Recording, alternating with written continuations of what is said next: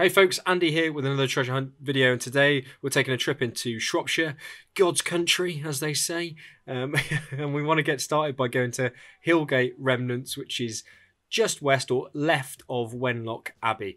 You'll be able to find this place pretty easy. It's on top of a massive hill, big massive tower. When you get inside, you want to knock off the weighted scaffolding at the top, which is going to open up this underground entrance. As always, slink yourself down, slide underneath and you'll be able to pick up the Shropshire clue here. Let's see what we've got. Got ourselves a solid picture here, none of this riddle faff. So we want to head to Caustow Castle.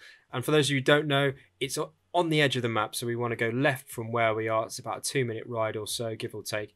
And we want to head over to the castle on the border of Wales here. But we don't want to be going to the castle. We want to be heading to the lake or pond, whatever you want to call it outside. As soon as you get here, wade yourself into the middle, just off opposite the dude fishing.